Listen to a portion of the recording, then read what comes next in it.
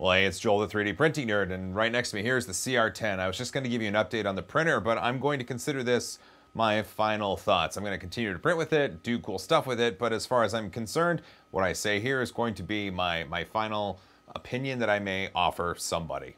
Let's first talk about this rocket right here. This is the rocket that I showed off in my first impressions of this machine. Uh, it's ribbed up on the nose cone, and I couldn't figure out why initially. I remember talking to Preston of Press Reset, and Preston said that it had to do with the fan speed at the very top. Uh, I didn't think that was right because he gave examples of it being too flimsy and the fan being too powerful, but in other models I didn't have that experience. So I think I figured it out. This model has been increased in size in X and Y more so than on the Z. And I believe the geometry of the model is what lends itself to being this weird semi-symmetrical ribbed pattern on the nose cone. And here's, here's why I think that. Here is the same model printed in the same filament, slightly smaller, but the X, the Y, and the Z are all proportionately scaled.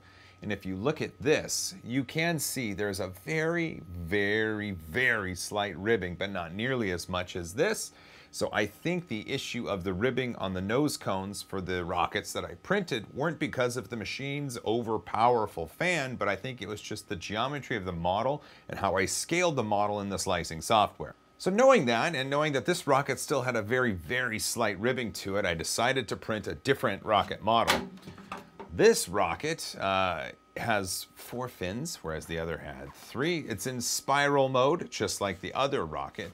And the nose cone, you see no ribbing, no ribbing, which is perfect. And so this rocket is a good example of the capabilities of this printer because it's in vase mode, which of course lots of large printer manufacturers use to show off their machines because you can print something extremely fast and it looks great. And that's no exception here. This rocket printed in a few hours and it's glorious in nature. It's, it's, you, you cannot see the individual layers printed at 0.2 millimeter layers. It's astounding. It looks, it looks wonderful. I didn't just leave it with rockets. I wanted to print an actual model. Here, Josh, catch. Hey. This is, I believe, the Sorceress by Loubie, Loubie 3D. She's the one that also did uh, the sad face on Thingiverse when Just 3D Print It was stealing models. She's the one that has also done uh, many, many other fine pieces of art. This is no exception. This is meant to hold a pen or a stylus and the detail on the model is fantastic. I didn't do anything as far as dialing in settings. For this machine, I used the Uncle Jessey Simplify 3D profile found in the CR10 Facebook group, and I just hit print. You can see that the layers look wonderful, and the model is fantastic. I can, I can see a little bit of fuzziness just because of untuned retraction and temperature settings, this is the Orb Polymer PLA that I used, and uh, it, it's not perfect, but it looks incredibly well, and I would consider this to be a great model and a great example of what the CR10 is able to do with a 3D model. The Sorceress is great, but I also have my Maker coin that I use to print examples of filaments and try to ascertain the abilities of 3D printers and it looks great as well. There's uh, the the sidewalls look good. The layering is consistent. Uh, the the indentation is perfect. This was printed at 0.2 and it looks good as well. I was really loving vase mode on this thing, so I tried to print another uh, vase in vase mode. Go figure. But I ran out of filament on this one. Ah, dang it. But luckily, I was able to load some MatterHackers Black Pro PLA that I actually have suspended on a clothing rod here in the office. If you follow me on Twitter, you would have seen a little video where I actually show that off. And it was it, it meant I was able to print this vase. This is a, a, vase mode vase. But what I thought was really cool, uh, when you run out of filament on this machine, because it's a Bowden extruder, there's still filament left in the line. And when I fed the black filament in, there was still some of that gold PLA from Orb Polymer, and it just, it looked, it looked really cool. Uh, the black and the gold together could, could be a great color combination for something. So I'm going to explore printing those two colors together.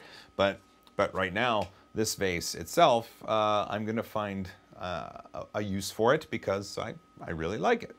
Let's talk about one more model before we get to my thoughts on this machine. Uh, the sorceress will move aside while we talk about this vase. I wanted to print something the full height of the machine and I wanted to print something in vase mode similar to the first rocket and I wanted to verify my thoughts on keeping everything scaled and having good geometry. And this, this model is an example of darn near perfection. This is MatterHackers Pro PLA on the CR10 using the Uncle Jessey Simplify 3D profile. Three bottom layers, no top layers. This is 0.2 millimeter layers at uh, in vase mode. I think it was 215 degrees on the nozzle, 60 degrees on the bed. I used a mixture of Magigoo and PVA glue on the bed to hold it down. And it's it's darn near perfect. It is it is a great vase. And I'm going to be honest with you, uh, printing vases is kind of boring to me. Just big vases. It's not that exciting, but there's something about this vase that is fascinating and I love I love it. This is great. But my buddy Josh, he's the one that chose this model. So Josh, behind the camera, hitting the camera. This is this vase is for you. Aww. Yeah, here you go. That's for you. All right, so let's let's get down to business here. Is this a good machine? Well, let's talk about that. The machine itself is 300 on the X, 300 on the Y, and 400 millimeters on the Z or Z. It's an MK10 uh, nozzle. It's got a Bowden style extruder with a with a Bowden tube that seems to fit.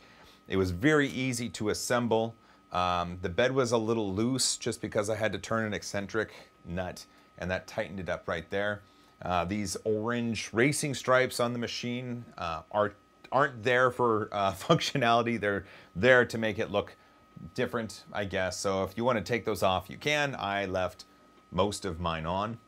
The spool holder they give you on the, on the brain of the machine is okay, but as you can see, I've got line coming in from above me, and really, just as long as you can get filament into this extruder up here, you're good to go. Running a huge spool means attaching it to your closet rod, and then bringing it down underneath the spool holder and straight into the extruder of the CR10. Go baby go. There are add-ons you can print, and someone did print for me, so I can guide the filament into the extruder a little bit better. I can also provide some relief to the bed wires here in the back using a 3D printed add-on. I know um, RCLifeOn also showed a different fan um, bracket to guide the air and uh, I'm going to print that out and probably um, use that as well. What also with RCLifeOn, and part of the reason I'm calling this a final review is because um, he already talked about printing ABS and how you had to cover the machine because the bed could only get to 85 degrees and he needed to uh, insulate the area around it to keep the ABS print printing. And he did show off a wonderful print and it looks just choice. Uh, he also printed flexible filaments, which is great. I do plan on printing ABS and I do plan on printing flexible filaments on this machine. I just haven't had the opportunity to do that yet. So I'm going to lean on the experience of RCLifeOn. Uh, he's a reviewer that I trust, and so I, I know that it will work on this machine because it worked with his machine. Finally, let's, let's talk about the cost of this machine and how popular it is.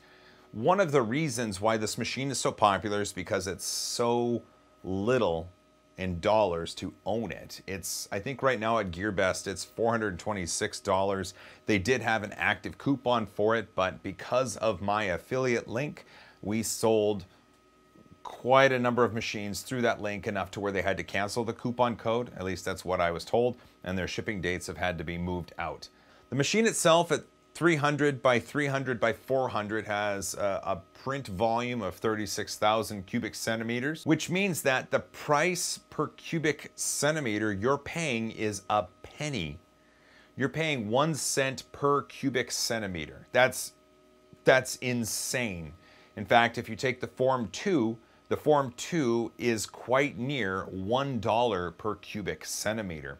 Granted, the Form 2 is an example of an SLA printer, while this is FDM, and they're not the same technology. They, you wouldn't own them for the same reasons. It's just, I wanted to give you an example of one extreme because this is the other extreme. This machine is incredibly affordable for what it provides. And if you take into consideration the quality at which it can print, the materials at which it can print, the price you can get it for, and how easy it is to operate, it's quite easy to conclude that at the moment that I'm filming this, this is the best printer that you can get for your money. Yes, I love my Ultimaker 3. My Raise 3D N2 Plus is fantastic. My Form 2 prints crazy good. There is nothing that the Prusa i3 Mark IIs cannot do. But because of the performance of this machine and the price you can get it at, this is it. This is the best thing you can buy for your money, hands down, right now. Well, there we go. That's my thoughts on this machine. Again, I'm going to continue to print with it, showcase it, answer questions about it. I hope you have questions on it that I'll be able to answer down the line. But do you agree with me or do you think I'm full of crap? I'd love to hear about it. Otherwise, I will put links in the description to where you can get this. This machine was provided by GearBest, and I will put a link to the GearBest store. That is my affiliate link to buy this printer.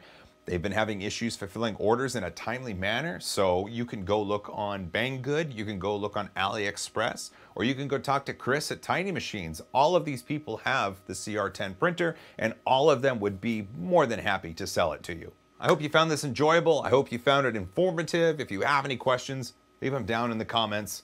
Thanks for watching. Thanks for subscribing. Thanks to everybody who lets the ads play. And thanks to my patrons who support me at patreon.com. Finally, don't forget to hug each other because I love you. As always, high five. High five, Josh.